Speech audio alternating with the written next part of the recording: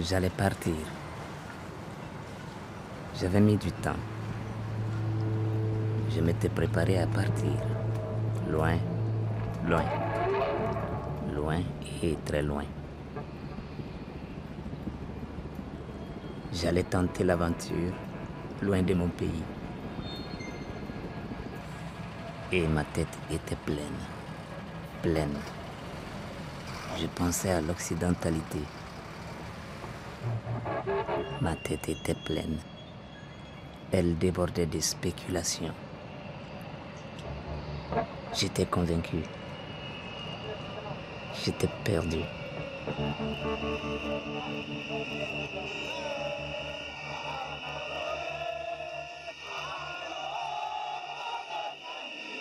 Mais un jour, l'espoir se planta dans mon rêve.